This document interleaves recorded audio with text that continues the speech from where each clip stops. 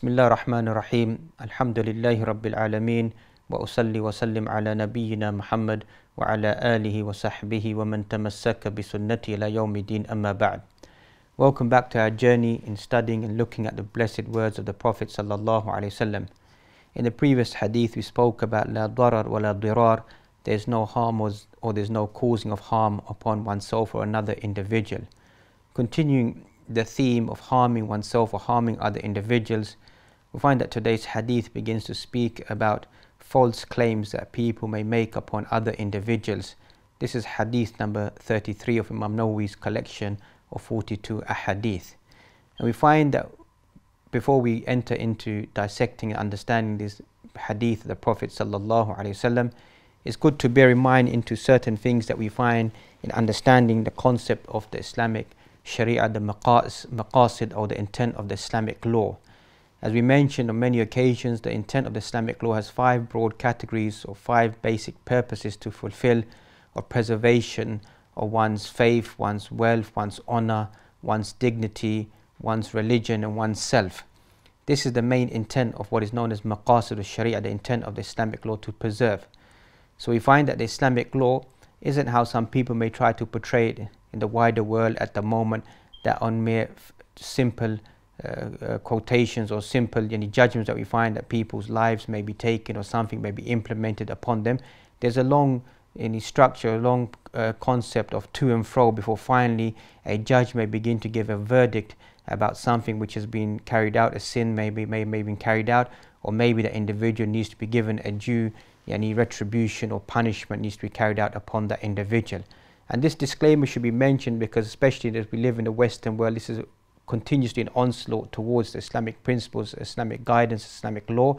that it just by by mere chance that certain, certain applications are made upon the human being. And thus we should teach ourselves in a wider society the whole concept of the Islamic law is there to preserve the human being and not just the Muslim any identity. And so we find that the main intent is one of ethics and morality that we find that what Islam it revolves around and to take away any immoral practice that we find. And there's numerous practices that we find even in the wider society around us that many of us that we share these rules and regulations, whether it be innocent until proven or uh, innocent until proven guilty, that we find the concept of aiding and abetting. So these are some laws and structures that we find in the wider world that run simultaneously with Islam as well, that we share the, these code of ethics that we apply. However, at times the way that they applied begin to divert or begin to go at variances because sometimes for an interest of money as they say that the, the best lawyers are the best liars, those who can, whatever fee that they pay, they're able to prove that somebody who may be even guilty is proven to be innocent via the amount of money that they may pay is unfortunately a fact that we live in a world that is full of such form of corruption that we find. So we find that in today's hadith that we find that people are given, if people are going to be given according to their false claims, that if every individual was heard for a claim that they made, then people will begin to unfortunately begin to claim people's lives, people's wealth, and people's property in a false manner. So, Islam, as we mentioned, came to preserve people's honor and dignity and not just to follow any cry of wolf or any cry of claiming something and to give that to the other individual. So, the Prophet ﷺ mentioned inside this hadith, لو يعطى الناس بدعواهم if people were to be given according to the claim, لَدَّعَى رِجَالٌ أَمْوَالَ قَوْمٍ وَدِّمَاءَهُمْ Then men or people will begin to claim people's blood, people's lives, and people's property. لكن لكن لكن البينة but the, the bayina, the evidence على على المدعي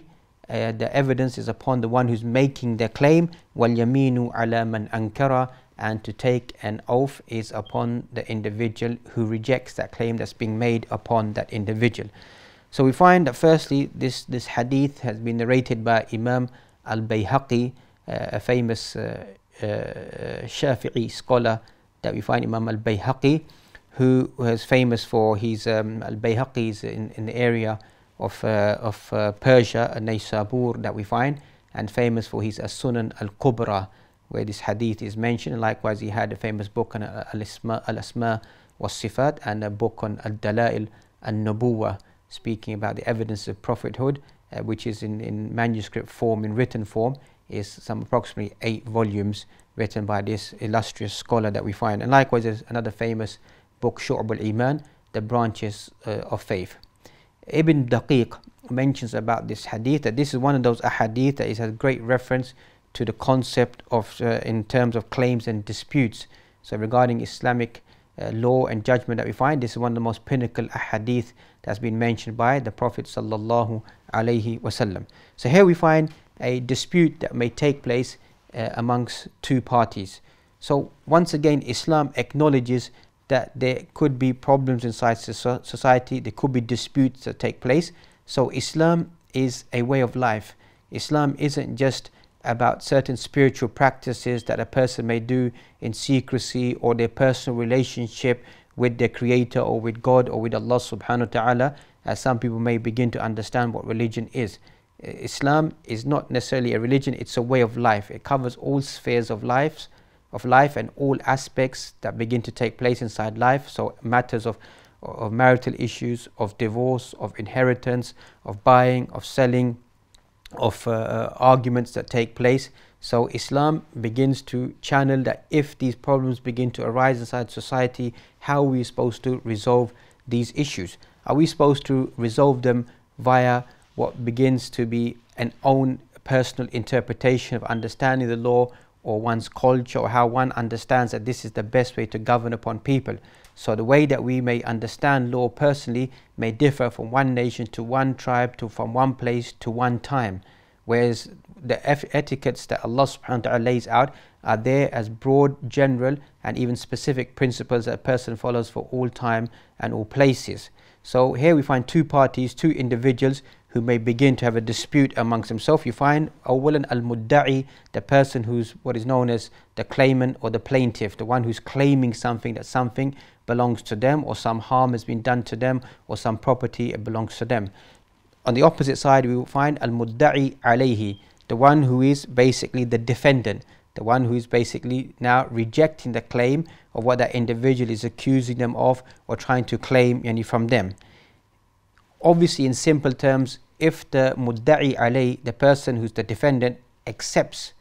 uh, the, the, claim then the case is quite simple and quite closed and the judge will then any whatever the person is claiming will be returned back to the individual or a due substitute or a punishment whatever it may be will be enforced upon the individual. It will be the end of the case. However if the person making the claim uh, uh, for example now has to bring a concept of evidence needs to be brought forth al-bayyina, the evidences, and here the ulama begin to discuss what are the evidences that a person who's making the claim that they can they can bring. So some of them even highlight basic simple things that sometimes the evidence can be clear, uh, open. For example, a person will come and say that this individual has, has taken my hat or taken my, my scarf and that individual is holding it inside their hand. So the judgment is quite simple and quite basic that the, the, the person making the claim doesn't have their hat on their head or their scarf that they're using. It's in the other person's hand. So the evidence is quite evident that this person is the one who is who's taken the property and unjustly needs to be returned to that individual. So here the ulama begin to discuss about forms of evidences and a common uh, concept that begins to arise is the concept of uh, two women being equivalent to one man in terms of evidences. And obviously, once again, we find that the, the wider world begin to exploit this and say, look at this, showing this a concept of of, uh, of not uh, equality amongst men and women. But we have to understand the context of such rulings and regulations. There are other appropriate instances inside the Sharia whereby we find that a, a man and a woman's witnessing is equally concerned. That one woman can be equally taken as a form of judgment or form of emphasizing something as a man. So here some of the ulama begin to discuss this concept about two women being equivalent to one man is in concept of business transactions and relationships whereby we find that the, the common nature of such uh, na uh, nature of relationships or business etc was in the hands of men so that's why they gave this interpretation is one interpretation that exists there that the, the witnessing of two women is equivalent to one man. Anyhow, it's a long discussion and the ulama of fiqh they begin to discuss. Uh, but what concerns us is the concept of what is al-bayyina. ولكن البينة what is the bayina evidence that the person needs to bring, the one who is the mudda'i. So he could bring witnesses who testify that that property or the person carried out this action or this person harmed me, will bring forth the witnesses. Then we find what is known as circumstantial evidence as well, which is used as some ulama have accepted it and some ulama have rejected the concept of circumstantial evidence uh, as we mentioned, any evidence, whether it be DNA sampling that we find or other sources of research that can prove that this individual is guilty for a crime, the, many of the ulama begin to accept this use of evidence to prove because this is also a concept of making uh, a witness upon another, any, upon an, uh, an individual. So here we find that this, this concept of judging amongst people that we find is that the main intent of, uh, of Islam is to come to a solution. This is what we need to understand. The goal is to reach the truth. That is what the intent of the, the Islamic purpose is that when person makes a claim and the person rejects the claim is to ascertain what the truth is and not to follow just mere speculation or to follow any uh, extra evidence that's presented or, evidence which has no purpose to present that or maybe emotional evidence to come to a conclusion. So Islam it focuses upon not the emotional evidence. It focuses upon the facts of how to come to a ruling and to appoint that or to carry that out inside society to come to a just ruling. And that is what we're going to find in some examples which are mentioned uh, inside the Quran and indirectly or if we read the tafsir of these verses we find how judgment was extracted from certain prophets of Allah subhanahu wa ta'ala. So we find amongst two individuals or we find two prophets that we find two great prophets of Allah subhanahu wa ta'ala, Dawood and Sulaiman alayhi salam. Both of these prophets, which were both uh, great prophets that we find, who at the same time became kings and rulers in their own right upon the earth. Allah subhanahu wa ta'ala mentioned about these two individuals, وَوَهَبْنَا لِدَاوُودَ سُلَيْمَانَ نِعْمَ الْأَبْدُ إِنَّهُ أَوَّابٌ Indeed, that we find that Sulaiman alayhi salam, he inherited from his, from his, his father. Uh, one view is that inherited the kingdom and the other more stronger view that he inherited prophethood. So the lineage of prophethood was, was traveling from Dawood and entered into Sulaiman alayhi salam. And the other view as well is obviously clear as well that Sulaiman alayhi salam inherited the, the kingdomship of Dawood alayhi salam. But as we mentioned, the concept of prophethood is stronger and the concept of wisdom. So Allah subhanahu wa ta'ala wants to show the preference of Sulaiman alayhi salam over Dawood alayhi salam. Thus we find in a hadith in Bukhari in the tafsir of these verses uh, that we find that we find that Dawood Dawood alayhi salam a woman came and and and complained to him that another woman has has taken taken her child a dispute between a younger woman and an older woman so the older woman is more forthcoming inside her speech and more emotional in her speech so Dawood alayhi salam he gives the child to the, the, the older woman. So when she leaves the courtroom of Dawood alayhi salam and Sulaiman alayhi salam is there and he asks her what took place and what was the dispute etc and, and she expresses herself what, what, what happened or the younger woman expresses herself that the child was taken by the older woman. So Sulaiman alayhi salam he says stop let us he look, look into this matter. So he requests for a knife to be to be brought and he says that uh, let the knife be brought and I'm now going to uh, execute this, this child. So quickly, the, the younger woman she shouts out that let the older woman keep the child. So from here, Sulaiman alayhi salam he judges that the, the child actually belongs to the younger woman and not the older woman because the older woman has remained silent regarding this ruling or what he's about to carry out and the, the, the younger woman has clearly expressed her, her love and her devotion by saying, Let her keep the child. So, this is a clear bayin and evidence that the child belongs to the, the younger woman. Again, inside the Quran, Allah subhanahu wa ta'ala mentions another example of judgment that we find with Dawood or Sulaiman إِذْ يَحْكُمَانِ فِي الْحَرْثِ You find that Dawood alayhi and Sulaiman alayhi they give a ruling regarding uh, the, the field or regarding a dispute that took place. إِذْ نَفَشَتْ فِيهِ غَنَمُ الْقَوْمِ وَكُنَّا لِحُكْمِهِمْ شَاهِدِينَ you find whereby the, the, the, the cattle had, had, uh, had entered into the grazing area of another individual. And indeed, we were witnessing to the testimony or the dispute that took place amongst these two individuals. So once here again, ulama of tafsir, they begin to mention what was this dispute that began to take place. You find that a, a, a flock of sheep or uh, herd, etc., entered into another farmer's area and it destroyed it ate the crops etc ate the grass inside the other farmers area so now Dawood alayhi salam he gave the judgment that these sheep need to be given or this, this, this animal needs to be given to that individual because of the, the harm it's caused to this person's property.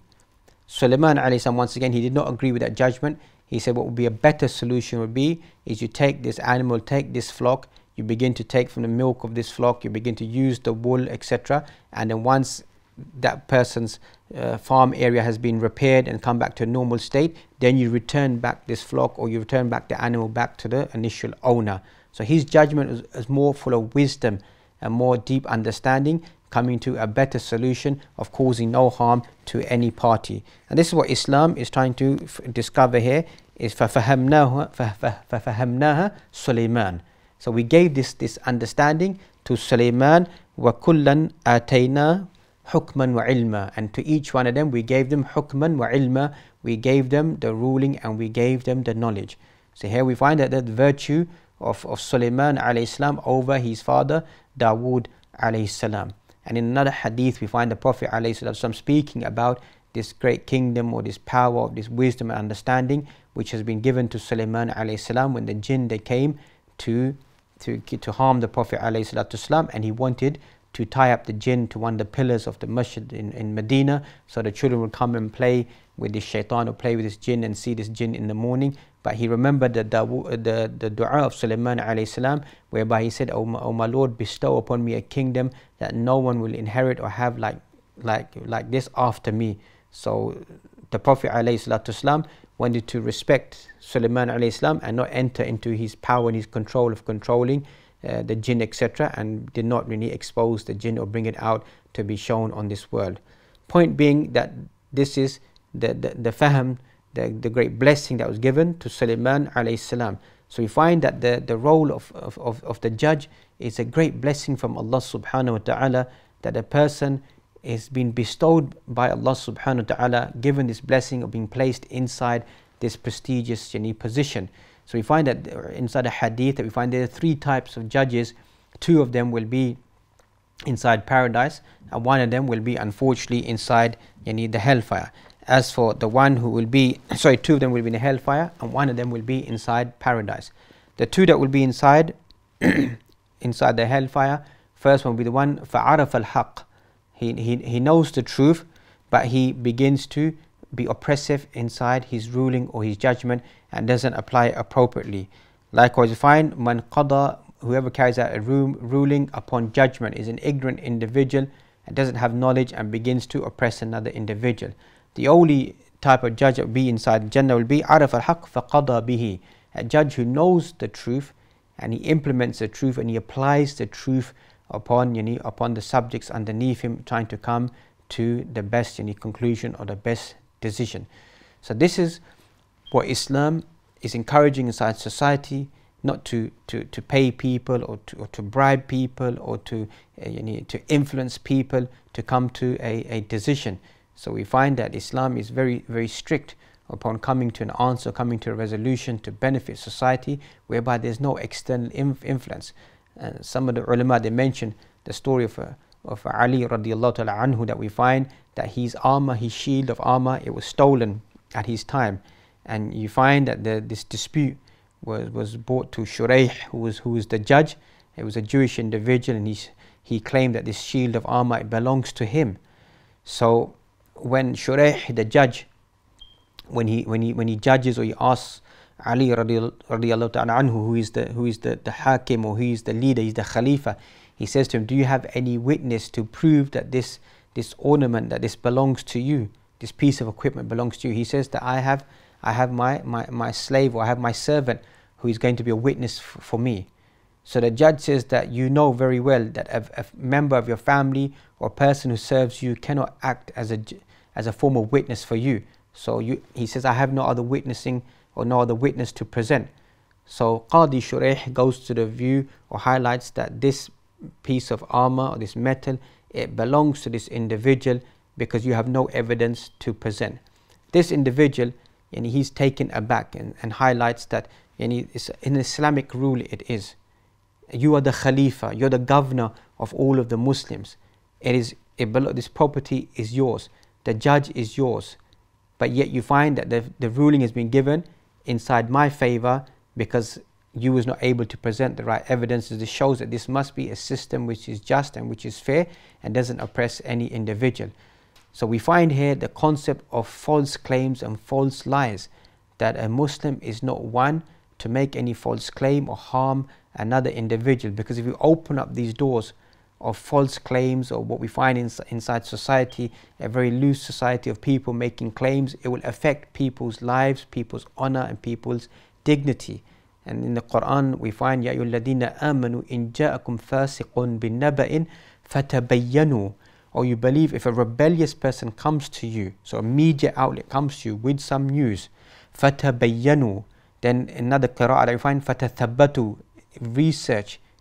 affirm, check that news, lest what will happen to you individuals يا أيها الذين آمنوا إن جاءكم فاسق بنبأ فتبينوا أن تصيبوا قوما بجهالة فتصبحوا على ما فعلتم نادمين that you begin to make a judgment or make a ruling or make a statement and that judgment or that ruling or that statement that you make it begins to to harm you and you, and you become amongst the, the ignorant individuals so it is sufficient it is to show the weakness of iman or the deficiency of an individual and يحدث بكل ما سمع أو كما قال صلى الله عليه وسلم that a person begins to narrate every single thing that they hear so as we mentioned inside the beginning that Islam follows principles that need to be adhered to and need to be followed to come to an appropriate solution or a to a conclusion also we find that this concept of false claims is known as qawl al-zur. Inside the Quran, when Allah subhanahu wa ta'ala describes وَعِبَادُ الرَّحْمَنِ الَّذِينَ يَمْشُونَ الْأَرْضِ هَوْنًا The believing servants and those individuals, if they walk upon, upon the earth, they walk in a state of humility. If you read the end of Surah Al-Furqan, 25th chapter, and you see all these sifat, or these characteristics of the believing individuals, you find there after mentioning all these characteristics, Allah subhanahu wa ta'ala mentions, وَالَّذِينَ لَا يَشْهَدُونَ الزُّورِ Those who don't make any testimony or make affirmation or accept any false claims could be the literal translation. Even though some of the ulama like Ibn Kathir mentions that this means a'yadul mushrikeen, those who don't testify to false practices of other individuals. But if we took the literal meaning of وَالَّذِينَ لَا يَشْهَدُونَ الزُّورِ Those who don't make testimony or pay witness to falsehood and evil, any form of evil speech. And this has also been deciphered or mentioned by the Prophet ﷺ, whereby he mentioned, أَلَا أُخْبِرُكُمْ بِأَكْبَرِ الْكَبَائِرِ Should I not inform you about the most gravest of sins, the most greatest of sins? And inside that list of, of sins that the Prophet ﷺ, he mentions, he mentions obviously beginning with committing shirk with Allah subhanahu wa ta'ala. وَكَانَ جَالِسًا And he was uh, uh, uh, uh, sitting down and then he, he, he basically brought himself forward or he came forward or he stood up in a manner and he said, أَلَا وَقَوْلُ الزُّورِ أَلَا وَقَوْلُ الزُّورِ أَلَا وَقَوْلُ الزُّورِ And he repeated it three times. And if I'm not mistaken, inside the hadith, he kept on repeating it until the companion said later annahu sakata if only he had become quiet meaning that the prophet ﷺ is continuously mentioning this concept about false speech or false claim. So we mentioned the three concepts or the three types of judges that we find two of them being unfortunate inside the hellfire and one of them going into paradise. Likewise we find that the type of judge who strives their best to come to a ruling or come to a conclusion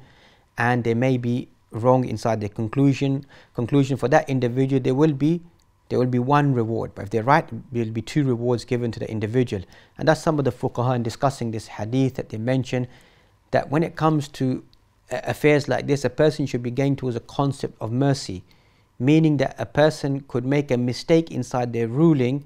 but that mistake hasn't taken the, the, the life or the property or endangered, endangered another individual Imagine if a person, a judge, and he applies a, a penal code or a death penalty or whatever form of law that exists out there in the world and and an individual their, their life is taken and then later it's discovered that the judgment was a wrong ruling or was incorrect ruling or there was not enough evidence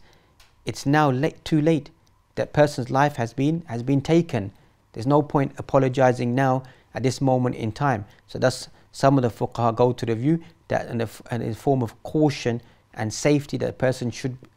uh, uh, abstain from entering into causing any harm to another individual until there is clear enough evidence towards that individual. And so this hadith, as it mentions that if this, these doors are open, then people begin to claim the, the blood of people. People could make false claims. Why the ulama begin to discuss this hadith at great length that people who make false claims regarding the, the, the, tribalism that existed at that time of tribes that were fighting towards one another. And obviously, if tribes are fighting one another, you find it always be this animosity, hatred that be taking place amongst them. So they could just claim that this person from the other tribe he killed a member of their tribe.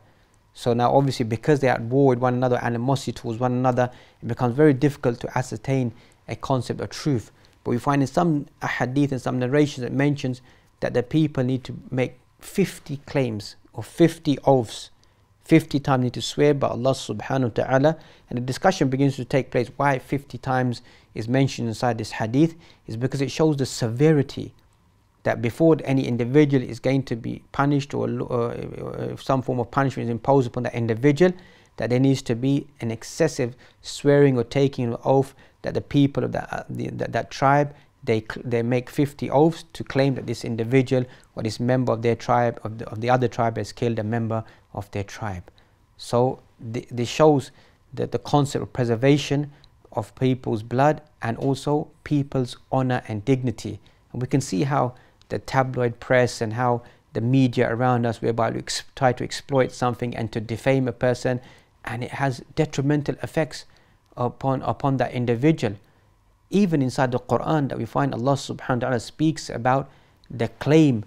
the false claim that was made if we look at the story of Yusuf alayhi salam. And inside we find the, the false claim of the wife of Aziz, whereby we find that whereby she made this false claim that Yusuf alayhi salam was the one who tried to seduce her or the one who's trying to carry out something with her. In, and so we find in this case of Yusuf alayhi salam that when the when her husband comes to the door, she very quickly wants to absolve herself uh, from any form of doubt or any form of suspicion, and she quickly begins to place the blame upon Yusuf alayhi salam. So here, Allah subhanahu wa ta'ala wants to establish the truth, and we find it happens to be a, a witness inside inside the room. A long discussion begins to take place. Who, who the witness was? Was it from the a family member of Yusuf or from uh, from, from the woman, one of the servants, or was there a child inside the room that spoke? Anyhow, there's a witness that's mentioned inside the Quran, but what is the solution? The solution that is mentioned there, in kana qamisu qudda min qubulin, if his shirt has been ripped from, from, from, the, from the rear, fasadaqat, or from the front, fasadaqat wa huwa min al So if the shirt has been ripped from, from, the, from the front, then he is a lying individual, and she is from amongst, yani, wa huwa min al kadibin. She's fasadaqat, she's telling the truth. Wahuwa min al kadibin, and he's from amongst the lying individuals. And if the shirt has been ripped from dubur, from, from the rear, from behind, then he's speaking the truth and she is from amongst the lying individuals. So obviously, on a visual display, the, the shirt of Yusuf salam had been ripped from the front, so the evidence was against the wife of Aziz was against her and so this the false claim that she was making Yusuf alayhi salam was absolved from this. And the and the husband of uh, of the wife the Aziz he just requested to Yusuf alayhi salam to turn away from this not to pay any notice towards this. Because obviously now if this came out in society that his wife was the one that tried to seduce any their own slave and tried to seduce Yusuf alayhi salam, then this would not look too good inside the wider society and that this had to be this had to be squashed or this needed to be removed from society uh, to protect his honor and his dignity. So the concept here, here once again of preserving one's blood and preserving one's honor and dignity is what this hadith is trying to highlight and not opening up the doors of people making false claims. And even if we take this into a, a global level, onto a political level that we find, there are unfortunately false claims of lands and property that people make that it belongs to them. And then these false claims that witnesses are brought or false witnesses witnesses are brought to protect their own interests or to protect their own land. And if we look at uh, historically and we, we, research, and as Muslims, we should be abreast with such things that are taking place inside the world at the moment or have taken place of the false claims that have been made against Muslims. And it's something which is very, uh, very daring or very loving to every single Muslim and as part of their, their creed and their belief. And in prior to that, praise by Allah subhanahu wa ta'ala, we find the beginning of Surah Al-Isra, whereby Allah subhanahu wa ta'ala mentioned the beginning of the 15th juz of the Quran, Subhanalladhi asra bi'abdihi laylan min al-masjid al-haram ila al-masjid al-aqsa الذي باركنا حوله لنريه من آياتنا إنه هو السميع البصير Glorified be Allah subhanahu wa ta'ala who took his, his servant from Masjid al-Haram, from the precincts of, of the Haram of Mecca, all the way ila Masjid al-Aqsa to the furthest masjid which has been barakah has been placed around it to show him uh, him, the Prophet our signs, and in Allah subhanahu wa ta'ala is the all hearing and the all seeing. So the land of, of Philistine, the land of Palestine that we find, whereby since 1947 that we that we find what is classified as a Balfour Declaration, whereby this land has been handed over to other individuals, according to even the United Nations Constitution, etc. We find is a false claim that the land it belongs to the people who are residing inside that country. It's a land that belongs to them. So here what we're trying to highlight is how false claims upon one's personal identity, one's uh, personality, one's uh, property, or one's honor, one's dignity, and even a whole landscape, that false claims can be justified and people can begin to infringe and take people's property and take people's life, take their wealth, is something which Islam is not tolerant of. Islam begins to study or begin to highlight, ascertain the truth to try to protect people's life and protect any people's property and honor that we find for the benefit of the whole of society. So we find that if we return back to the intent of what as we mentioned, what is known as maqasid sharia as we began with, that as Muslims and non-Muslims, we need to begin to read deeply into understanding the objectives and the intent of the Islamic law of why Allah subhanahu wa ta'ala has, has laid out certain aspects upon this earth. And the key element here, as we mentioned right in the beginning, is the choices of men will evolve, will revolve and will change according to time and, and the nature around them and wants and needs of people. And this is the clear distinction and difference between what we find in the world around us and what Islam is trying to portray. That Islam is highlighting that the wants and the needs of people they are taken into consideration, but they don't have a great impact of removing the fundamental principles of what Islam is based upon. The fundamentals or the principles of Islam, they will remain stagnant, they will remain there as a foundation, and we build law upon that. So, if any new uh, technological evidence becomes available, any form, new form of witnessing or uses of skills become available, then Islam begins to adopt them or begins to look into them and begins to use them. It doesn't wipe out the basic element of the laws of Allah subhanahu wa ta'ala and overrule them. So like we find today in today's world that we find certain evidences of DNA are brought into into certain rulings that 30, 40 years people's traces of DNA are left upon a person who may have been uh, committed a murder or committed some form of atrocity that now they are now they are going to be punished for that crime. But maybe that person may have passed away or maybe it may be the end of their life. Is insignificant at this moment in time but now in going in the future we can use that evidence to help society around us so islam does accept that. But at the same time islam does highlight that certain times there could be circumstances whereby the what is zahir apparent may not necessarily be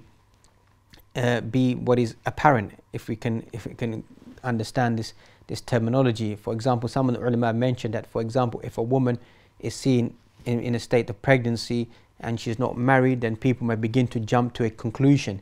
But there could be circumstantial evidences that there could be something that's led her to be in that state. Maybe she could have been uh, harmed in, in, in, in, in a haram manner. Or maybe there could be something that could be uh, placed inside her drink, so she lost her senses, and then she was she was oppressed in that manner. So we can't just judge upon external elements, as some fuqaha mentioned. Person still needs to go back and study each case individually to come to a conclusion of what the appropriate answer may be. Because if we just begin to just carry out any open any judgment upon people any, and upon emotional judgment, or people, as they say, the one who cries the most or wails the most or shows the, the most emotional display,